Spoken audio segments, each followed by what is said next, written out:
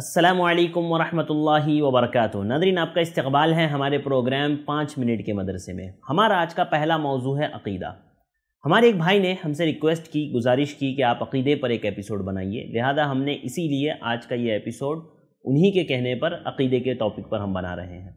अल्लाह ताला का फरमान है, लक़द कफ़र अल्लदीन क़ालू मरियम वक़ाल मसीह या बनी अबुदुल्लाह रब्बी व रब्बकुम।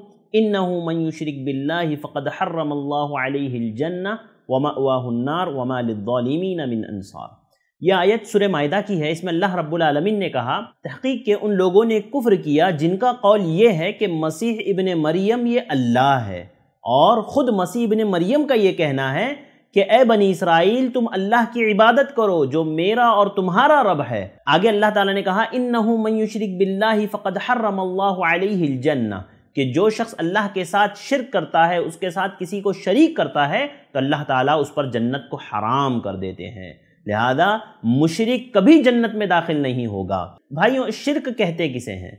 लगवी तौर पर शिरक का माना है किसी दूसरे को अपने काम में हिस्सेदार या शरीक बनाना। जबकि इस्तेलाहन शिरक कहते हैं, अल्लाह की रबूबियत, उलूहियत, असमा व सिफ़ात या इनमें से किसी एक में भी गैरुल्लाह को अल्लाह का शरीक बनाना। बस जो शख्स ये अकीदा रखे कि अल्लाह के साथ कोई और भी है जो खालिक है, जो मददगार है, या अल्लाह के सिवा कोई और भी इबादत के लायक है, या असमा व सिफ़ात में उसका कोई हम पल्ला है तो वो आदमी मुशरक है। और शिरक सबसे बड़ा गुना है। शिरक की माफ़ी नहीं। इसकी मिसाल आप यूँ समझिए, जैसे एक बादशाह है, उसके यहाँ मुख्तलिफ़ जराइम और मुख्तलिफ़ सज़ाएँ मुकर होती है। मिसाल के तौर पर चोरी की फ़ला सज़ा डकैती की इसी तरह से पहरा देते देते सो जाने वाले की सज़ा, मैदान जंग से भाग जाने वाले की सज़ा, सल्तनत की रकम छुपाने वाले की सज़ा और सल्तनत की रकम को पहुँचाने में ताख़िर करने वाले की सज़ा, कौमी ख़जाने को नुकसान पहुँचाने वाले की सज़ा, वगैरह वगैरह, ये तमाम सज़ाएँ उनके पास मुकर्र होती है। इन सब जराइम की सज़ाएँ मुकर्र है। मगर अब बादशाह की मर्ज़ी पर मुनहसर है कि वो इन जराइम की चाहे उनको सज़ा दे दे या चाहे माफ़ कर दे। ये वो जराइम है। यानी ये बादशाह पर डिपेंड करता है कि चाहे तो वो सज़ा दे, चाहे तो वो माफ़ कर दे। लेकिन बाज़ जराइम ऐसे होते हैं जिससे बगावत ज़ाहिर होती है। वो नाकाबिल माफ़ी होते हैं। मसलन, बादशाह की मौजूदगी में किसी वज़ीर को या मुशीर को या चौधरी को या रईस को या किसी भी भंगी चमार को बादशाह बना लिया जाए। इस किस्म की हरकत को बगावत कहते हैं। ये जुर्म तमाम जुर्मों में सबसे बड़ा जुर्म है। और इसकी सज़ा यकीनन ज़रूर मिलनी चाहिए। और जो शख्स और जो बादशाह ऐसी सज़ाओं में, ऐसे जराइम पर सज़ा देने में गफलत बरतता है तो ऐसे बादशाह की सल्तनत कमज़ोर हो जाती है। अरबाब दानिश ऐसे बादशाह को ना अहल कहते हैं। लोगों, उस मालिकुल मुल्क, गैरतमंद बादशाह से डरो, जिसकी ताकत का कोई शुमार नहीं। जिसकी ताकत की कोई हद नहीं, भला वो मुशरिकों को क्यों सजा ना दे? जबकि वो उन्हें खिलाता है, वो उन्हें पिलाता है, वो उन्हें मारता है, वो उन्हें ज़िंदा करता है, हर चीज़ वो करने वाला है। उसके बावजूद अगर वो उसके साथ किसी को शरीक करें तो वो क्यों ना सजा दें? शिरक फिल इल्म, यानी अल्लाह रब्बुल इज़्ज़त का इल्म हर चीज़ को घेरे हुए हैं। देखिए, शिरक के मामले में ना कुछ चीज़ों में लोग शिरक करते हैं। मैं आपको मुख्तसर तौर पर और आसानी से समझने के लिए कुछ बातें आपके सामने रखूँगा। सबसे पहले शिरक फिल इल्म, अल्लाह रब्बुल इज़्ज़त का इल्म हर चीज़ को घेरे में लिए हुए हैं। यही वजह है कि वो हर वक्त हर चीज़ से बाखबर रहता है।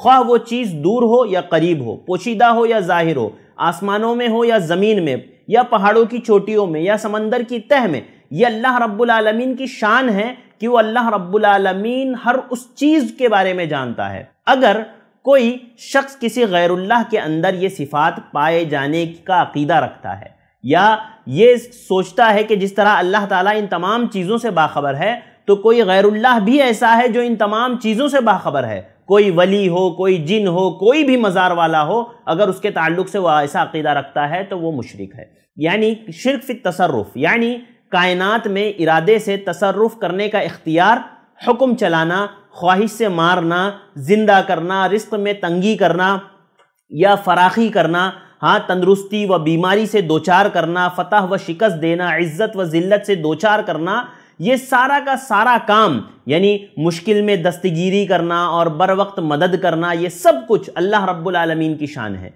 किसी और की नहीं। ख्वाह, वो कितना ही बड़ा इंसान हो, या मुकर्रब फरिश्ता ही क्यों ना हो, बस जो शख्स किसी गैरुल्लाह से मुरादे मांगे और उसको तसर्रुफ का मालिक समझे तो वह आदमी मुशरक है। इसी तरह इबादत में शिरक। जिस तरह तमाम इबादत हम कहते हैं कि भाई ये सिर्फ़ अल्लाह रब्बुल आलमीन के लिए होनी चाहिए। चाहे सजदा हो, रुकू हो, हाथ का बाँध करके खड़ा होना हो, सदका व खैरात करना हो, रोज़ा रखना हो, या दूर दराज से उसके मुक़द्दस घर तक जाना हो, ज़ियारत करने के लिए, ये तमाम के तमाम चीज़ें अल्लाह रब्बुल आलमीन के लिए ख़ास होनी चाहिए। अगर कोई इसमें मिलावट करता है, किसी और को उसका शरीक समझता है तो वो भी मुशरक है। चाहे वो वली को समझे, चाहे वो किसी फरिश्ते को समझे, चाहे वो किसी नबी को समझे। इसी तरह शिरक फिल आदात। अल्लाह ने अपने बंदों को ये अदब सिखलाया है कि वो आम दुनियावी कामों में भी अल्लाह को याद रखें और उसकी तज़ीम बजा लाएँ जैसे काम शुरू करते वक्त बिस्मिल्लाह पढ़ना, औलाद की नेमत पर बतौर शुक्रिया के जानवर ज़बा करना, बच्चों के नाम अब्दुल्ला अब्दुलरहमान रखना, वगैरह वगैरह। ये सारी चीज़ें वो है जो अल्लाह के नाम से इंसान आदात में से करता है। अगर कोई शख्स गैरुल्लाह की कसम खाता है, दुनियावी कामों में अल्लाह के सिवा किसी और से मदद माँगता है काम शुरू करते वक्त बिस्मिल्लाह की बजाय किसी और का नाम ले लेता है। या अली मदद, या जो है किसी पीर या किसी फ़कीर का नाम ले लेता है तो याद रखिए, ये भी शिरक है और ये शख्स मुशरक है।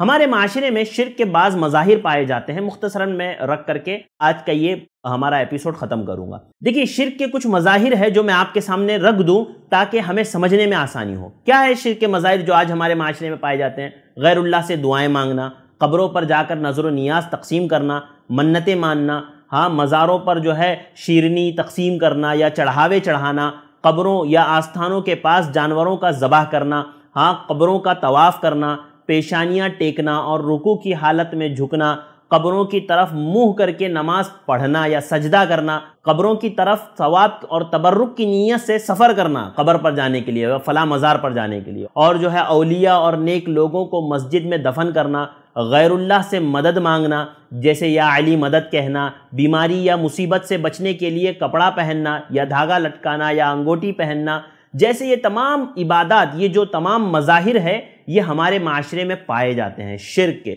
और ये सारी की सारी, इसके अलावा और भी बहुत सारी किस्में हो सकती है। चूँकि वक्त कम है, इसीलिए मैंने मुख्तसर सी चीज़ें आपके सामने रखी हैं, आप इन तमाम चीज़ों को जहन में रखें। और अपने आप को हत्तल इम्कान, हमेशा ये कोशिश करें कि हम इस तरह के शिरक से बचते रहें। हाँ हर तरह का शिरक, चाहे छोटा हो, चाहे बड़ा हो, किसी भी तरह का शिरक हो, मुझे और आपको चाहिए कि हम इन शिरकी या अमाल से बचे रहें। नाजन ये चंद बातें थी जो मैंने आपके सामने रखी। उम्मीद करता हूँ आप लोगों को पसंद आई होगी। आप ज़रूर हमारे वीडियो को लाइक करें, कमेंट करें, शेयर करें, हमारे चैनल को सब्सक्राइब करना ना भूलें। आज के लिए बस इतना ही। मुझे दीजिए इजाज़त। असल वरहमल वबरक अल्हम्दुलिल्लाह।